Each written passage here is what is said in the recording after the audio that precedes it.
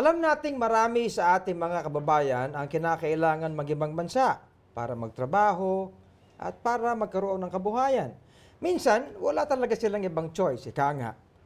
Yung iba ay nag-abroad para matikman ang buhay ng nasa ibang bansa. But for whatever reason, siguradong may epekto ito sa mga pamilyang naiiwan sa ating bansa. Ika nga'y merong long-term effect yun, anak. Right, Bishop. Actually, here in Lighthouse Cafe, we've had previous episodes discussing about the plights of our OFW brethren in other countries. And recently, we also featured Christians who show excellent testimonies as they live in other countries as well.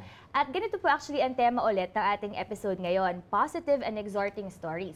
In What's Brewing, makausap natin ang isang marino na nagsimula ng isang ship ministry sa kanyang mga kasamahan. Alamin natin mamaya ang buhay at testimony ni Preacher Dino Magayon. That's good. Maganda yan. At naka, makakakwentuhan naman ni Gabby at Antoinette ang isang pamilya ng OFW. Learn how they cope and how they keep their family strong and serving the Lord. Sa kabila ng pangingibang bansa ng padre ng tahanan. At alam naman po natin na maraming mga Pinoy na nangingibang bansa dahil syempre sa kakulangan ng pera. Kaya mas maganda kung meron tayong choices na makakatipid lalo na pagdating sa usapin ng gamot. At sa ating pong Health Talks ay pag-uusapan ang branded versus generic medicines. Pareho nga lang ba ang bisa nito? Alamin po natin yan mamaya kasama ang ating guest experts from the UP College of Pharmacy. Okay, very interesting ang ating topics na yan ngayon, Reza. At tamang-tama sa lahat, mapa OFW ka man o hindi. So stay tuned for one hour of informative news and stories. Ako po si Reza Abante Yebra. At ako naman, si Bishop Ruben Abante. Join us and let's have good talk over good coffee. Welcome to Lighthouse, Lighthouse Cafe. Cafe.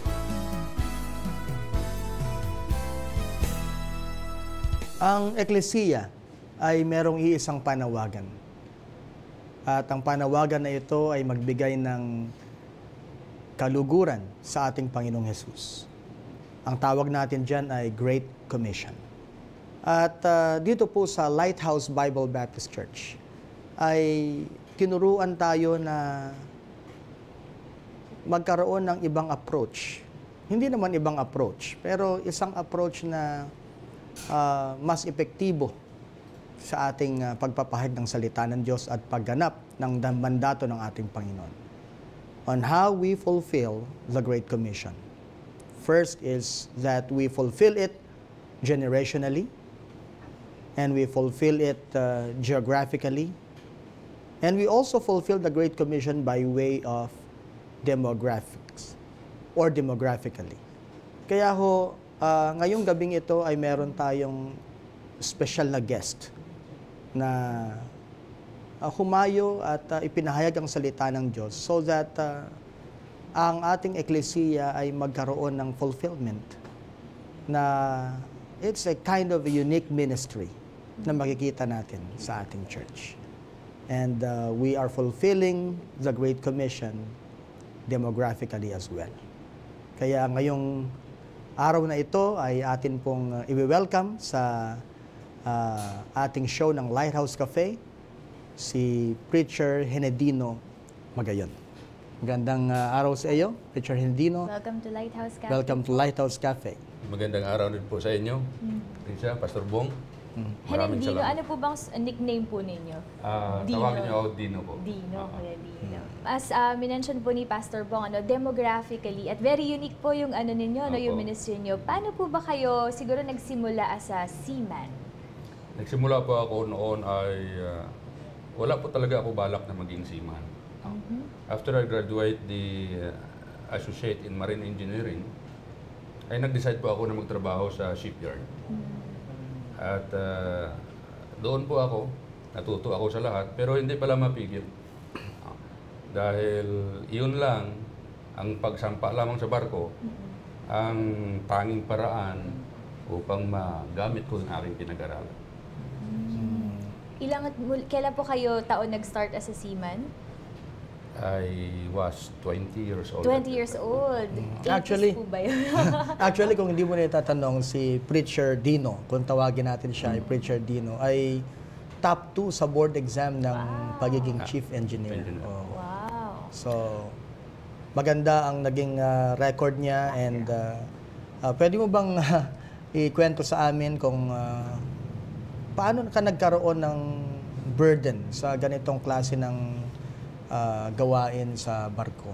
Sapagkat ah, bihira kaming makarinig ng mga ah, seaman or seafarers na nagkakaroon ng ministry sa barko. Dahil alam natin, ang ako personally, dahil marami akong kamag-anak na seaman, ay ah, nalululong sila sa ma- masasamang bisyo. Yung iba naman nagkakaroon ng bagong pamilya sa ibang bansa, many things. Pero kakaiba itong nangyari sa iyo. At ah, can you give us a testimony of uh, your how you became a Christian and uh, uh, and how you followed the Lord in uh, Okay. this ministry? Ah, dati na po ako nagbabasa ng Bible. Oo. actually, I am a Bible reader for two years. Alam ko yun, pero hindi ko talaga masyadong naintindihan. Until na ang aking asawa ay na-invite ng ah, kanyang kaklase na a-attend doon sa isang church sa Santa Ana. So sabi ko sa kanya, eh, bakit naman tayo lilipat doon? Bakit tayo pupunta doon? Ang layo-layo noon. Pero dahil siyempre, asawa mo, mahal mo, eh, kailangan, kaya na kailangan samahan ko siya. Sinamahan ko siya, no? Pagdating doon sa Santa Ana, sa Metropolitan, Metropolitan Bible Baptist Church, ay ah, ang nagpipreach doon si tatay. Abante. Habang siya nagpipreach, eh, parang kilala niya ako. Eh, first time ko siya nakita eh. First time ko siya narinig. Kaya tinatanong ko yung aking asawa, pinagsasabi mo ba sa kaklase mo ang mga ginagawa ko? Sabi niya, wala. So, sa madaling salita, natapos yung preaching at hindi ko inaasahan na meron palang invitation na kung sinong tatanggap kay Kristo. So, tinanggap ko si Kristo. Ang araw na yon, it was February 14, 1989. Seven Araw- years na ako araw noon. pa ng mga puso. ah. Opo. Seven years na ako sa Inter-Island noon. Oo, dahil wala naman ako plano na mag-overseas noon. Pero ano, ang napakaganda doon ay hindi ako pinayagan ng Panginoon na makapagtrabaho sa international vessels na hindi ako naligtas. So, sa madaling salita, pag-join ko sa international vessels, ligtas na po ako. At doon ko nakita na ang kakaibang buhay ng marino.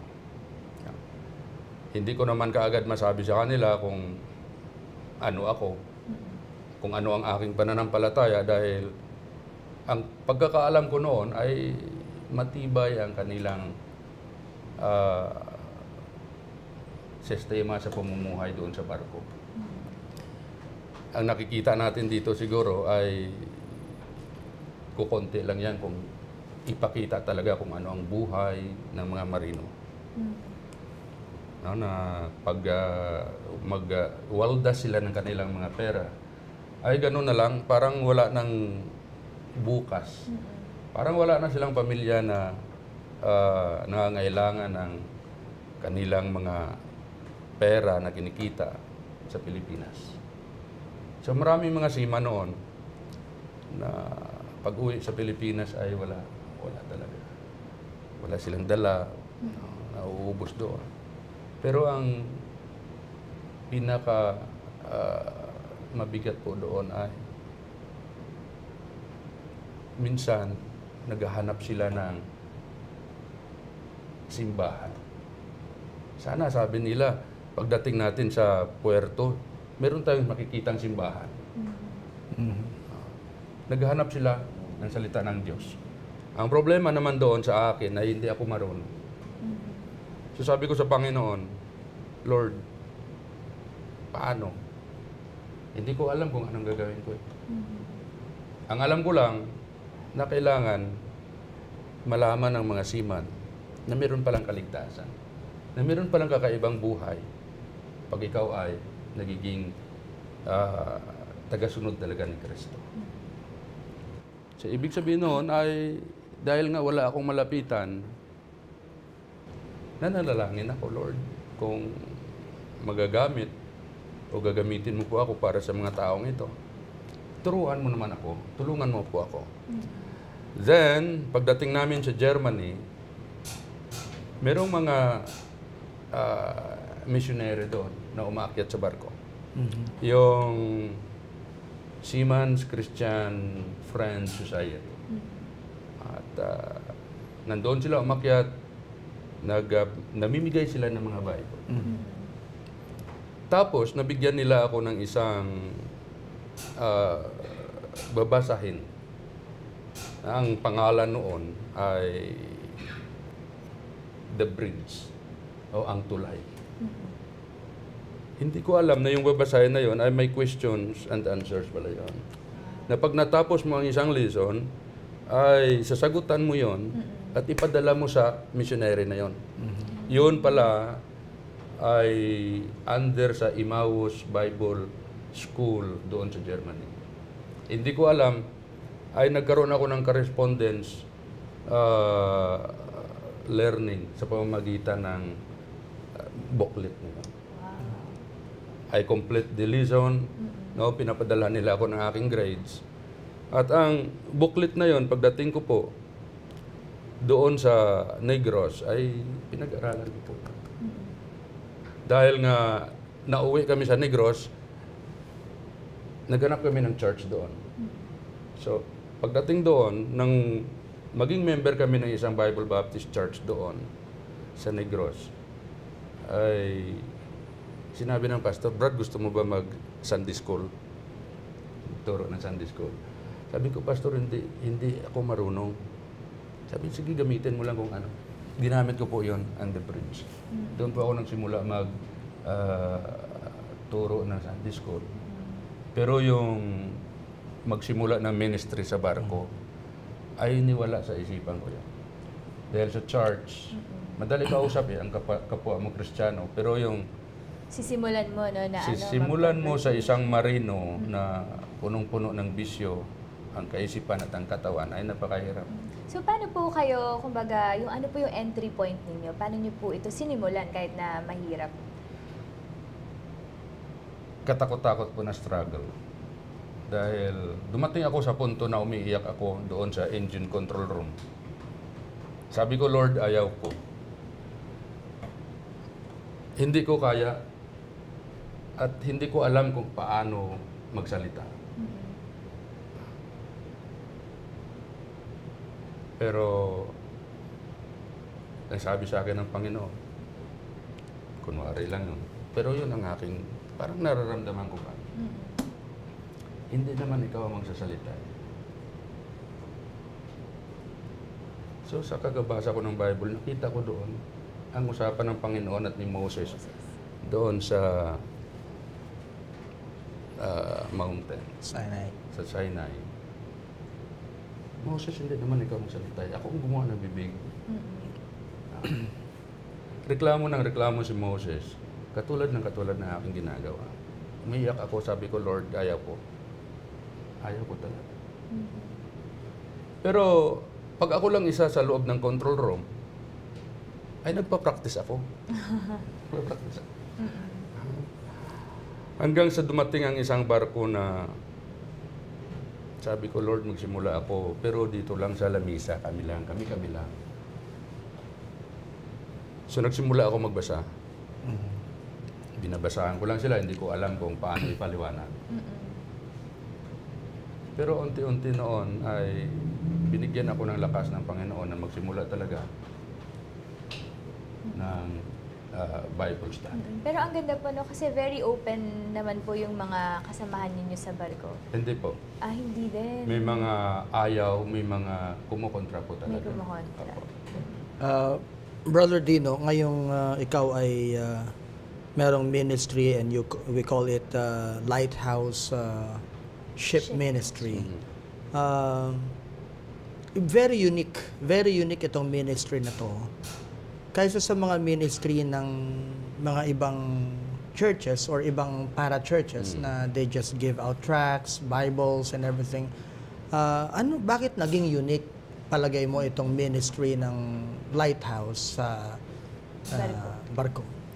Alam mo, Pastor, ah, malaki pong pasasalamat ko una dahil kayo po ang nag-introduce nito kay Pastor R.A.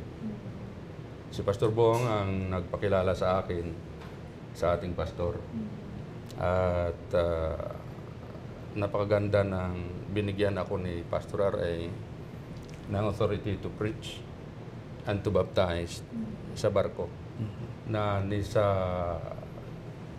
katiting mang kaisipan ay ni hindi ko po naisip na mangyayari sa akin yun.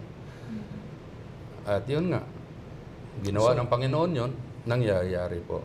So ang ibig sabihin nito, while other ministries would uh, just uh, give out uh, tracts and Bibles and preach, yung ministry mo ay naging unique because you do baptism doon mismo. So parang may congregation mismo dun sa Yes. barko. Opo, ganun po. Ano na po ang naging result nito since you, kailan nga pong taon kayo nag-start sa ship ministry? It was With with authority to With preach and to baptize. uh,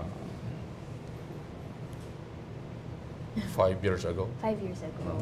And since then, ilan na po ang mga naging members, no? Ah, dahil doon. Uh, actually, meron na isang isang pamilya sa Kainta na naging member ng church. Buong pamilya sila at uh, naging uh, very faithful sila ngayon sa ministries ng church. At ang iba pang mga kasama namin na nabaptize din ni Pastor Bong doon na sa kwan, sa sa church. Isang pamilya din sila doon sa Capol Island. So kumbaga yung head of the family po na naging member dun sa barko, pagbalik nila, yung pamilya naman po nila yung naging member sa church naman po. Tama po ba? Ah, nadadala po nila ang kanilang nila. asawa at ang mga anak sa church at natuturuan yung kanilang asawa. Alam niyo po ang higit na nakakasaya sa akin na once na maligtas ang tatay ng tahanan sa barko, Right. naliligtas din po ang kanilang pamilya, mga anak. Uh, palagay mo, Brother Dino, uh, paano naging malaking isang tulong ang ministry na ito, ng ship ministry, sa mga seafarers na alam natin na malayo sa pamilya nila, pero malapit sa tukso. Ah, napakalaking napakalaking bagay, Pastor. Kasi po, ay alam nila na every Sunday meron kaming ah, worship service doon. At sil- sila na rin ay nahiya na pumunta pa sa mga lugar na dati nilang pinupuntahan noon. Ibig sabihin, sa pamamagitan ng salita ng Diyos na natutunan nila, nagkaroon sila ng pagpigil sa sarili. Isang bagay na ah, napipigilan nila ang kanilang mga bisyo at tulad ng ah, pag-iinom at paninigarilyo. Meron po isang asawa ng isang sima na lumapit po sa akin. Ang sabi nila, Chief, maraming salamat po dahil nagbago ang aking asawa. Dahil daw ang asawa niya, dati amoy ashtray. Nang umuwi daw ay amoy gatas na. Eh sabi ko, huwag kayo kayong magpasalamat sa akin. Na magpasalamat po kayo sa Panginoon kung saan ang asawa ninyo ay binigyan niya ng desire na makinig ng iyong salita.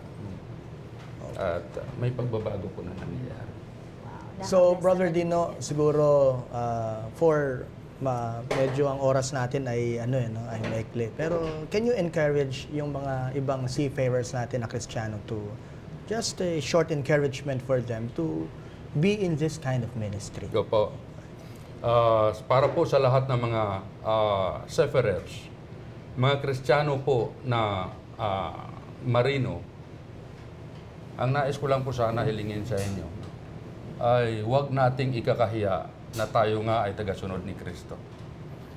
Gawin po natin na ipahayag ang salita ng Diyos. Dahil ang salita ng Diyos ay buhay. At ito po ay makapangyarihan at nakakaligtas po ng kaluluwa. Marami pong mga siman ang nangangailangan ng salita ng Diyos. Pastor. Okay. Well, Brother Dino, thank you very much for that uh, much wonderful exhortation. At uh, alam ko, maraming uh, karanasan na uh, sa barko na hindi lang karanasan ng kasalanan, ngunit karanasan ng pagbabago ng buhay. I can't just imagine na sa gitna ng dagat ay may may isang kongregasyon na kumakanta ng mga gospel songs and that is good. So, ayan, praise God po for your testimony and uh, maraming salamat po muli. At ngayon naman po ay panoorin natin si Gabby and Antoinette sa ating Espresso Self. Mga usaping in, mga paksang trending, Mga tala kayong may kabuluhan. lifestyle at kulturang sariling atin. Buhay Pinoy, pag-usapan natin dito sa... Espresso, Espresso Self!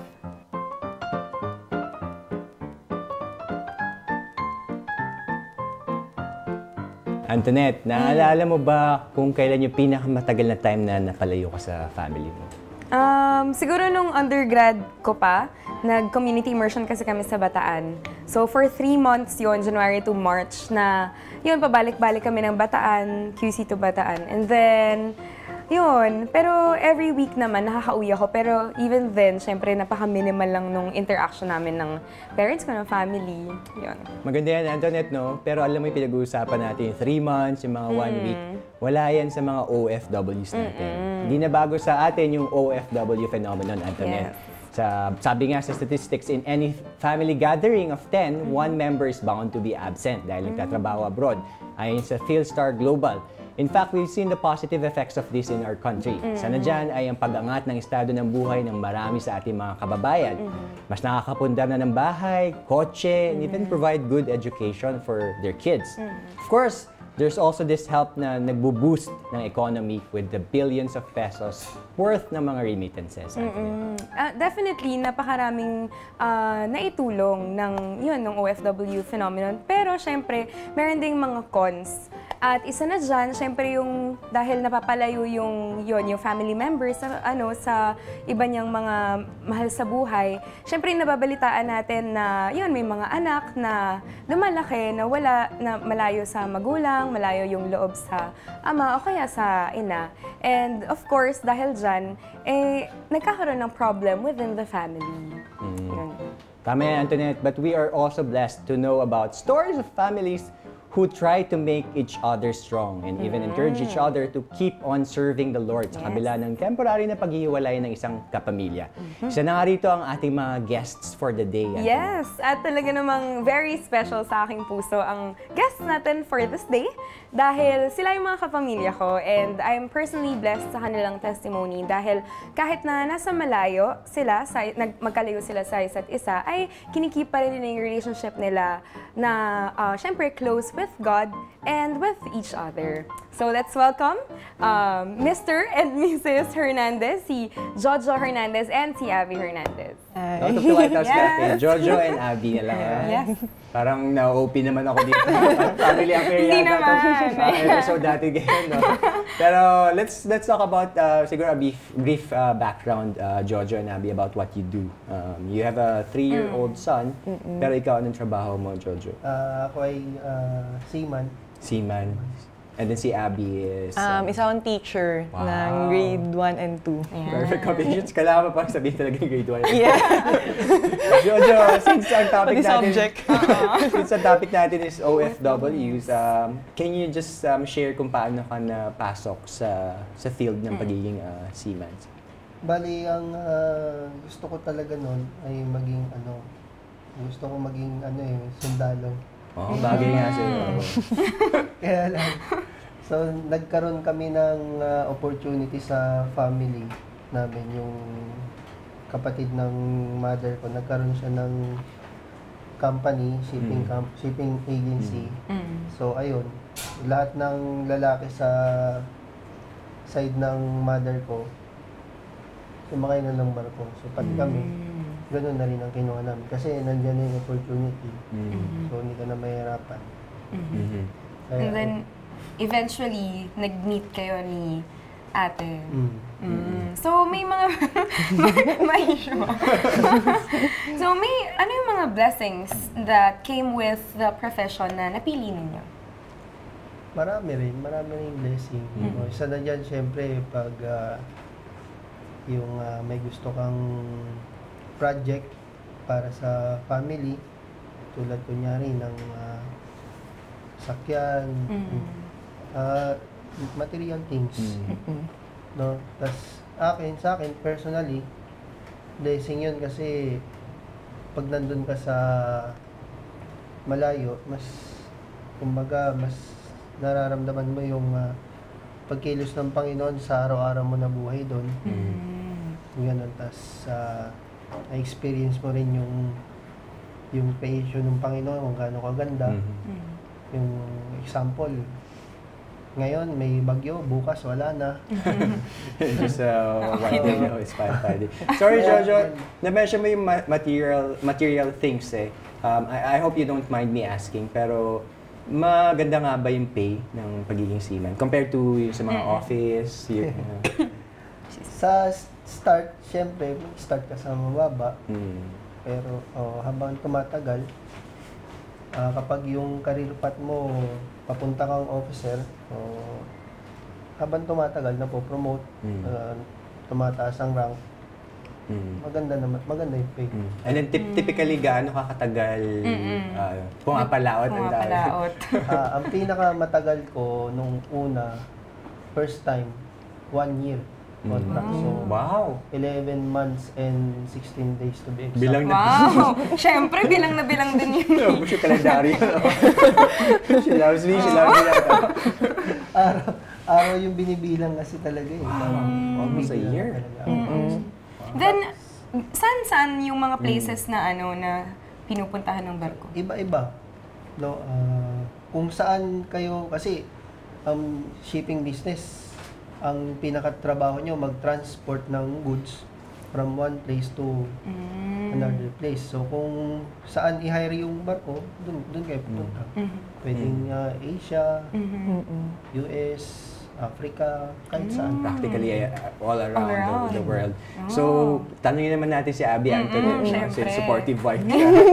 I'm sure nung uh, pinakasalan mo si Jojo, alam mo na na yung meaning niya, di ba? Medyo si seaman siya. Pero still, nagpakasal pa rin kayo. So, wala rin, that's out of the question, sorry. Uh, ang, ang tanong ko is more of, um, ano yung pinakamalaking challenge? Especially for you, um, uh, a lady, uh, uh, uh, wife. Ano yung pinakamalaking challenge of having, uh, you know, someone like Jojo na seaman? Iyak na ako. It's okay, it's okay. Hindi, nakikita ko kasi- nga rin. Next, malapit na kasi siya ulit umalis. Ano, um, pinakamalaking challenge talaga ng piniface is yung sa emotions eh. Malungkot talagang magkahiwalay. I'm I think sure. both sides naman yon. Kung siya, syempre nakikita lang niya lagi is dagat. Ganun sila sila na magkakasama. Sa amin naman, sa side ko naman, siguro iniisip ng iba, ay, sanay na siguro yan na ilang beses siya nakasakay. Pero Nasanay laging, ka nga ba? hin- parang hindi talaga eh. Parang pahirap din siya ng pahirap eh. So, every time na alis siya. Oh, I'm sure. Mas, mas parang, ano, yun nga, mas tumitindi. So ty- typically yun nga, six, six months, one year mawawala, ba- babalik dito sa Pilipinas, mag-stay for ilang mga, mga ilang months. Mga four months. Four na- months, tapos oo, alis ulit. Oo. Sige. So, how do you guys uh, cope dun sa situation? Siyempre, pag nandun ka, wala ka namang ibang pwedeng gawin. Prayer, yun yung number one. Prayers na. Tapos syempre, ah, wala rin internet yung ba- barko namin. So, sa tagal ko na sumasakay, isang beses pa lang ako nakasakay ng merong internet. Wow, so importante yan, Joe. Kasi alam ko, ang nasa isip ko yung technology Hindi ngayon, ko kaya. mapapanood to eh. Pero hindi rin Oo, pala.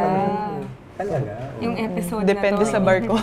Depende. Kahit nagda-dock kayo, or... Yun, pag na sa ano kayo, nasa puerto na Hmm. nasa berth yung vessel, pwede, may Pwede. chance na makapa, maka ano. Pero pag nasa berth kasi, sobrang busy rin ng trabaho. So, wala rin chance masyado.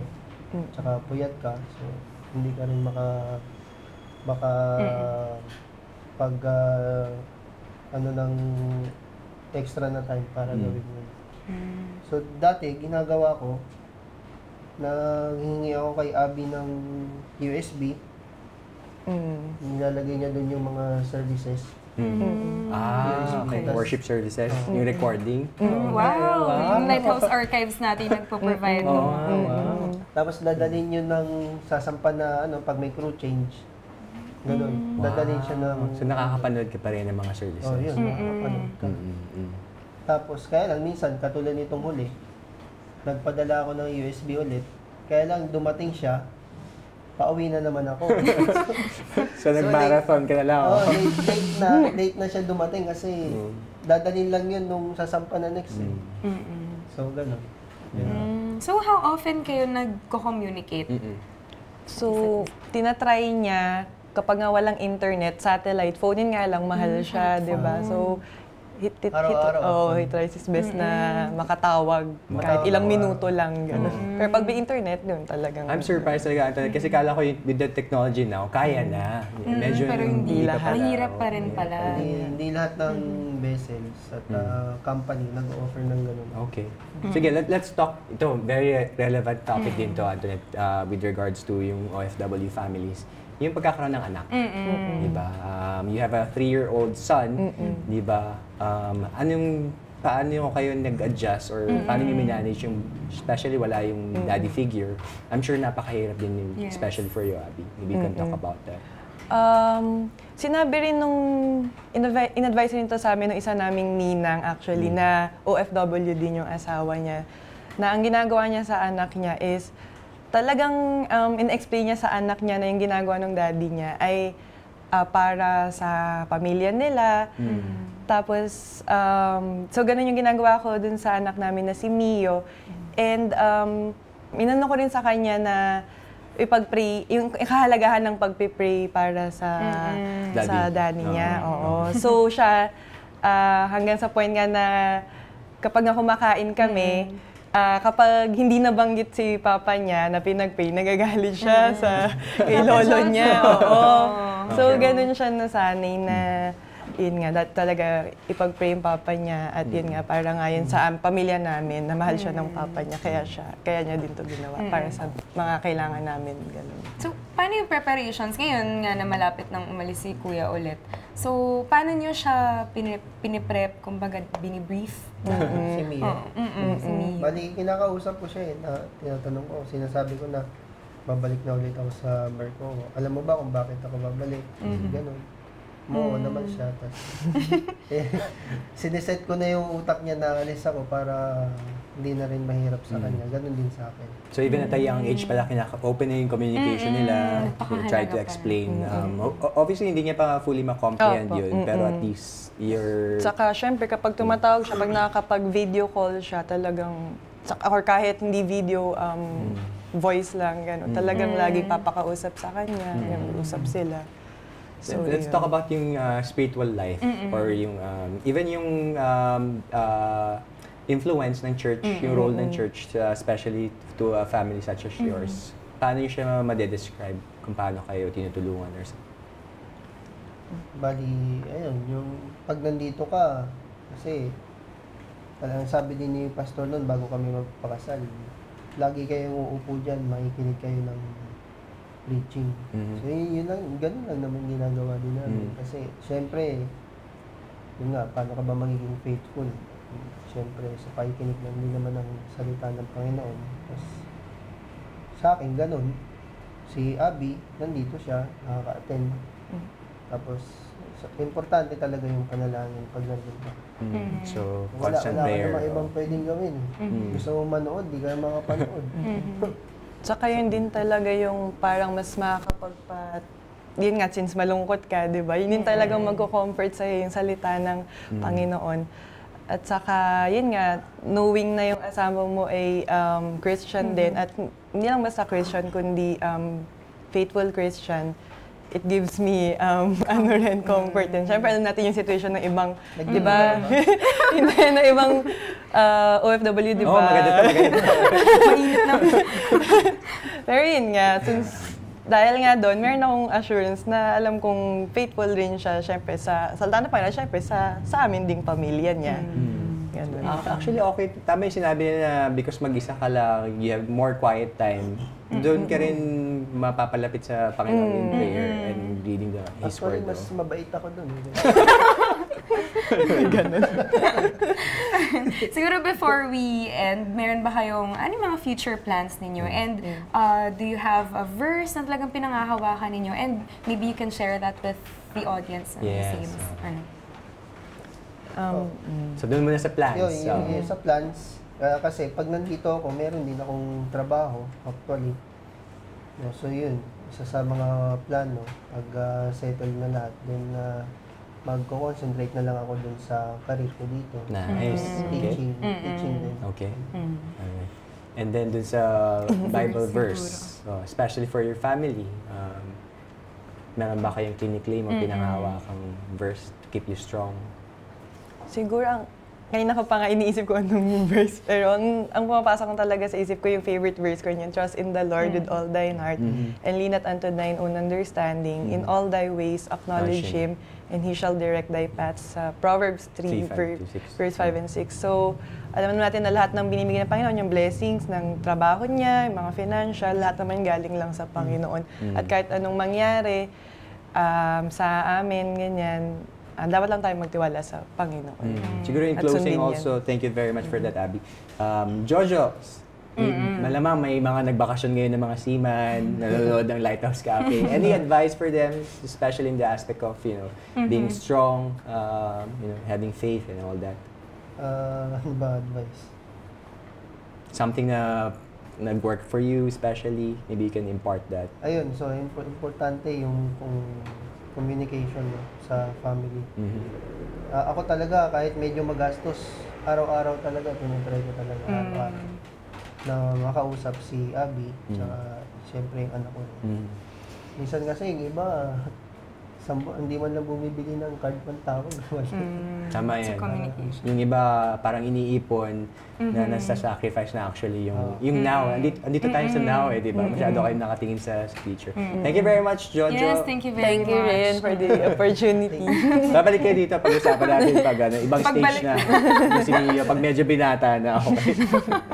Ayan, thank you very much. And katulad nga nung nabanggit ko kanina, blessing, especially for me, nakikita ko si Mio, yung, yung how he grows ngayon na ah, talagang at a very young age, um, tinetreasure niya yung Sunday school, yung prayer, which are actually testimonies mismo ng kanyang parents. So, thank you very much and syempre, we'll pray for you, Kuya. Pagpe-pray ka namin, Jojo, huwag ka mag-alala. Baka sumama pa ako sa'yo. Pero tama yung sinabi mo, Antoinette, no? At maganda, lalo na kapag yung head of the family has a strong resolve to choose the Lord over anything else. Sabi nga sa Bible, choose you uh, this day who you will serve. As for me and my house, we will serve the Lord. Yan po ay mga words ni Joshua that um, the one who led his family and even challenged his fellow Israelites to do the same. For more on this, let's listen to Bishop Ruben as we go now to Hebrews.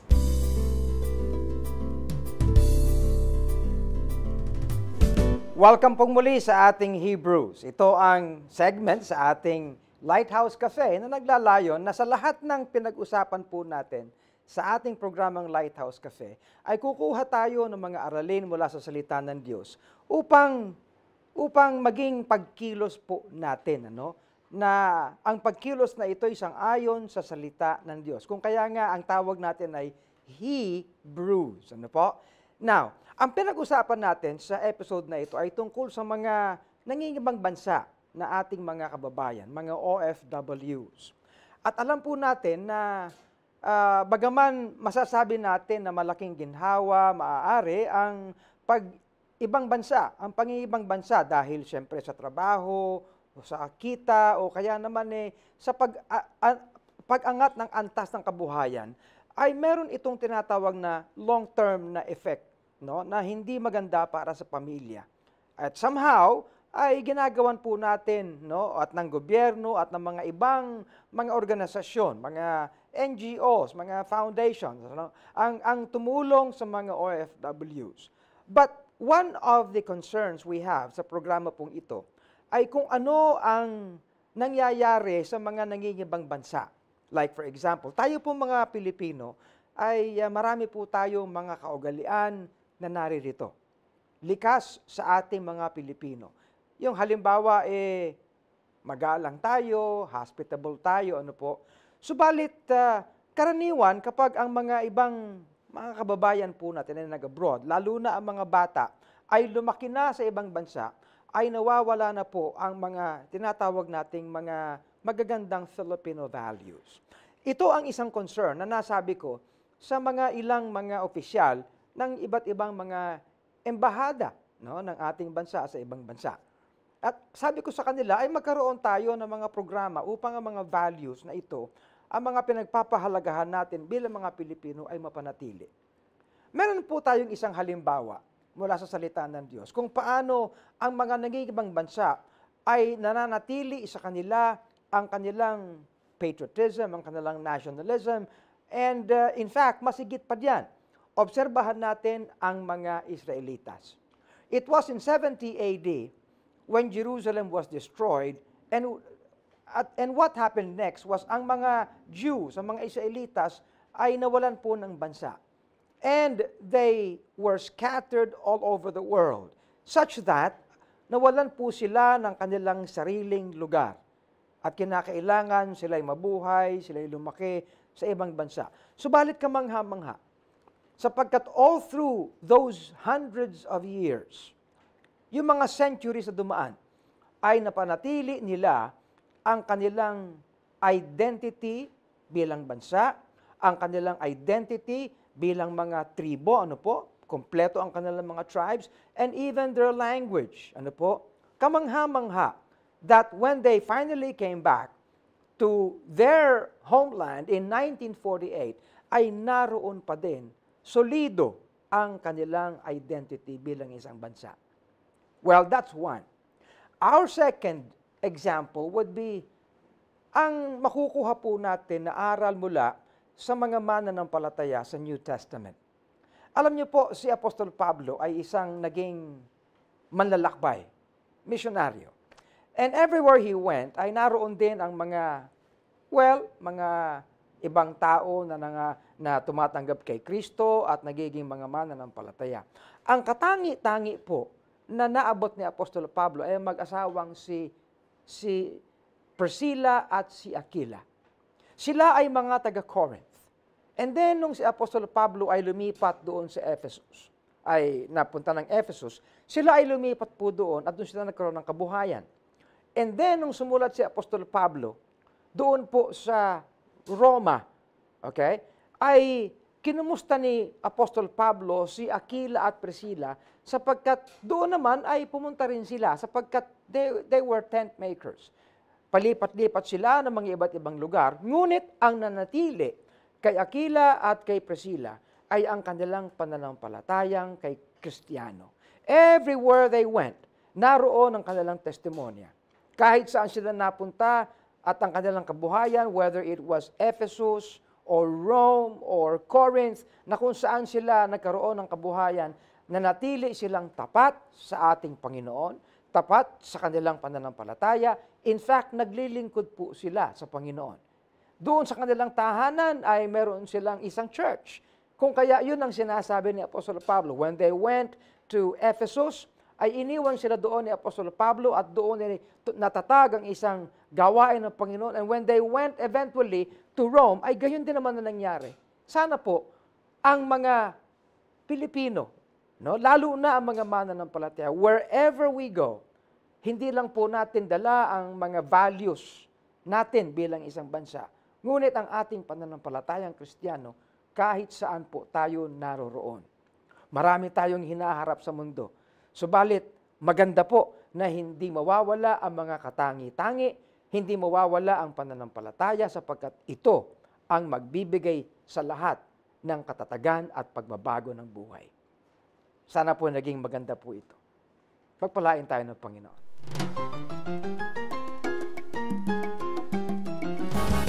Pagdating sa ating kalusugan, prevention is better than cure. Kaya naman mahalagang mag-exercise, kumain ng masustansyang pagkain, at uminom ng ating mga vitamins and minerals. Ikaw ba, Daisy, ano bang vitamins ang iniinom mo? Ako, kung naaalala ko ng tama, vitamin C, ah, vitamin B complex, nakalagay doon, tsaka multivitamins.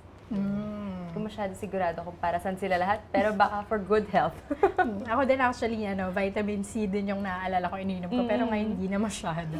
And actually, maganda nga na nagtitake talaga tayo ng vi- vitamins lalo na regularly. Pero kasi minsan kahit anong take natin, hindi pa rin nating maiiwasan na magkasakit. And of course, kailangan nating magpa-check up din sa ating mga doktor at inumin yung mga gamot na nire-reseta nila. Mm-mm, tama, Erica. At madami na tayong options ngayon dahil aside from branded medicines, nandyan din ang mga mas murang generic medicines.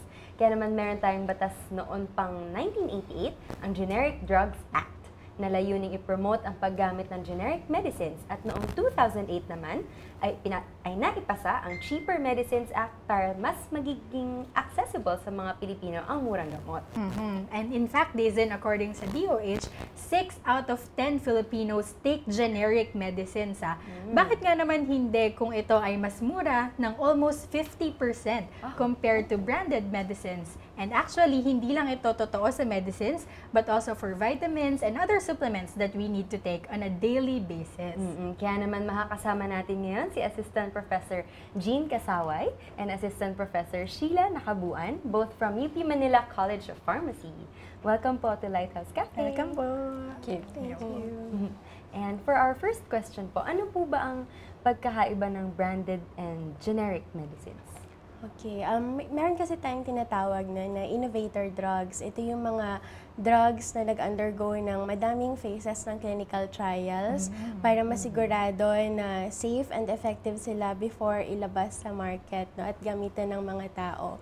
And ang mga drugs na ito, sila yung unang na-register and nabibigyan ng trade name.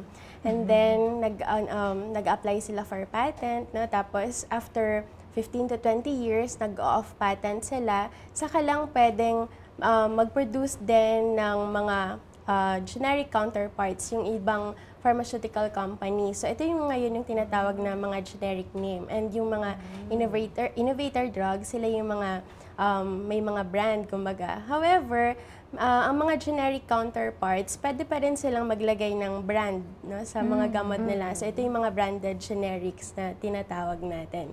Um, basically, pareho lang sila kasi pareho yung active ingredients na meron sa mga gamot na ito, no? kasi kumbaga pareho lang yung generic counterpart ng innovator na drug.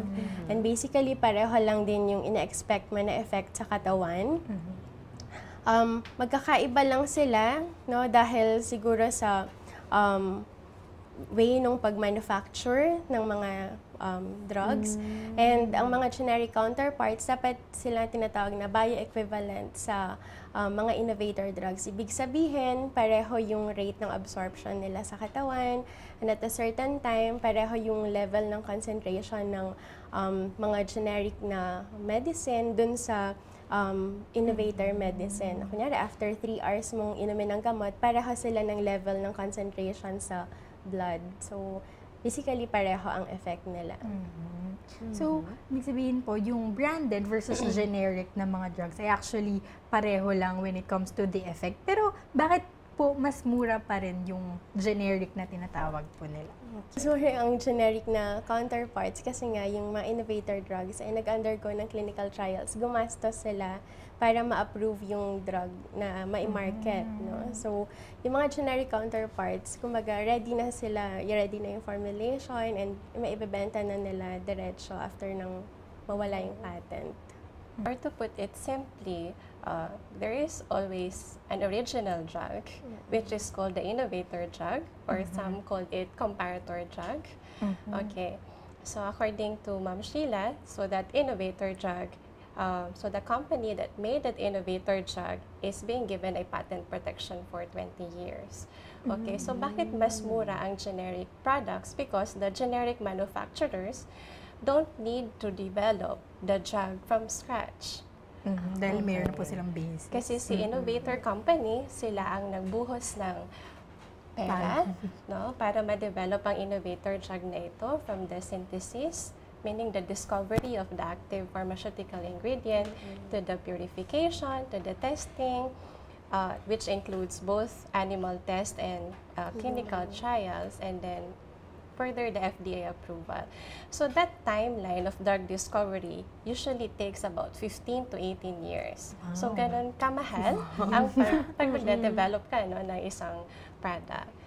So since ang generic uh, generic manufacturers uh, don't undergo that long timeline of drug discovery, that's why it is a lot cheaper than the branded, or Branded. innovator drugs. Pero, um, ang inisip po kasi ng mga tao na baka yung isa po, yung generics, Okay. baka mas matagal tumalab. Totoo po ba yun? May ganun po bang nangyayari? Okay. Well, since we have two groups of medicines, no, yung innovator and then the generic medicines, within the group of generic medicines, there are two groups. no? It is further divided into two groups. May, may branded generics and merong unbranded generics. Okay. So, si branded generics, um, the, the company kasi no, has a decision whether to place a brand name or or not. Okay, so si generic medicines that have these brand names, they are called branded generics. So doon pumapasok yung term na branded.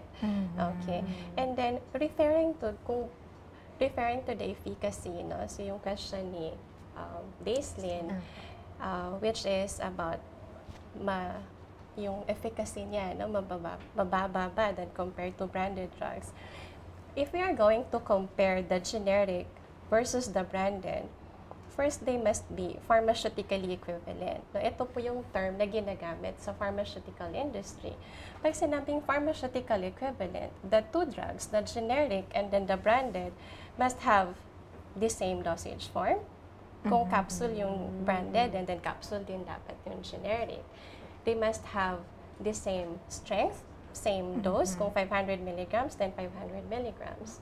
And then, same route of administration. Kung parehong sinuswallow whole, dapat pareho yung ganun route of administration ng generic and then branded. And then the last would be they must have uh, the same indication or intended use. Okay.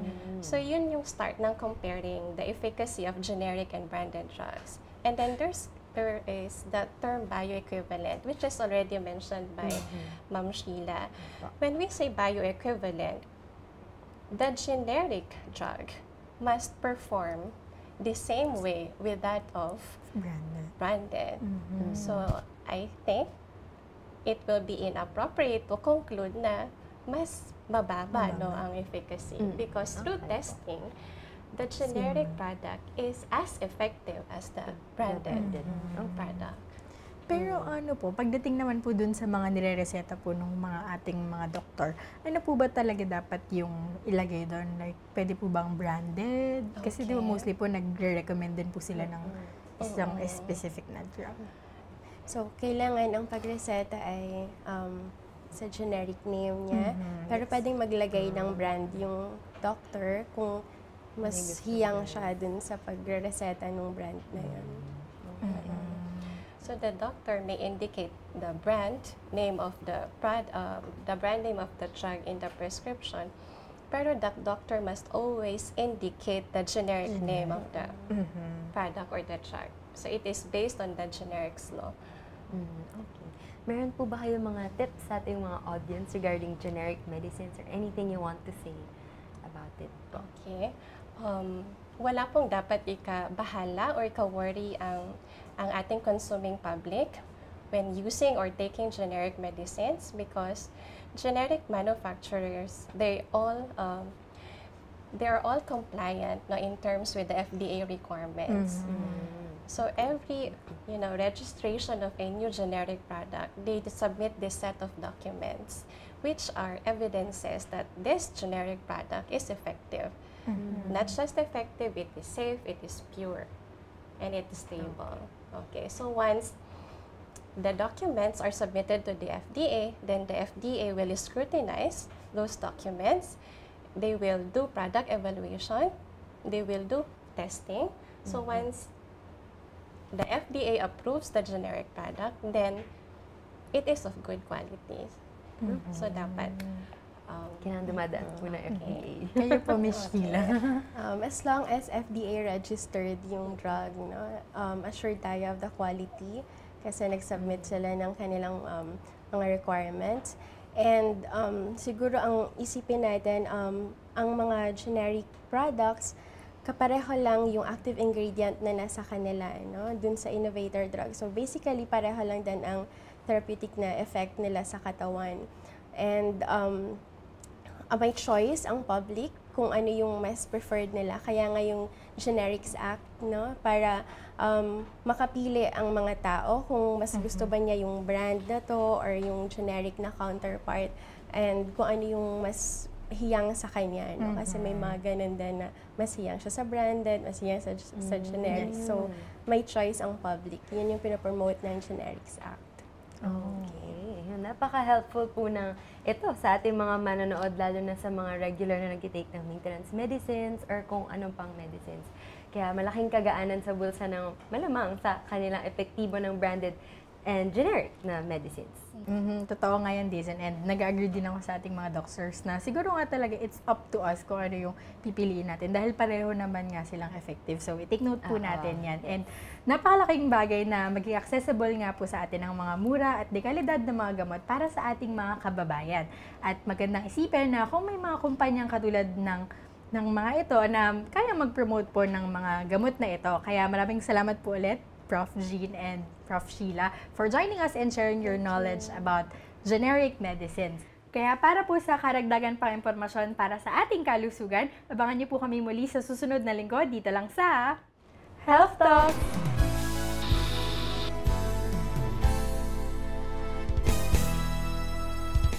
Salamat sa inyong pagtangkilik sa ating lingguhang palatuntunan sa telebisyon, ang Lighthouse Cafe. At sana ay pinagpala kayo sa lahat ng ating mga pinag-usapan. Nagpapasalamat din po kami sa aming mga ministry partners. Special thanks to the Four Gospel Catering Services, Miami Cakes, and Lighthouse Bloom for our revamped on-set decor. At nagpapasalamat din po kami sa Bella Pit Stop para sa aming supply ng makeup products. At para naman sa mga on-the-go na palaging nakamobile, you can easily catch our latest episodes through our YouTube channels. Hanapin niyo po ang Lighthouse Bible Baptist Church channel and the new GCTV YouTube channel. And don't forget to subscribe. Also, please check uh, www.gctv.asia.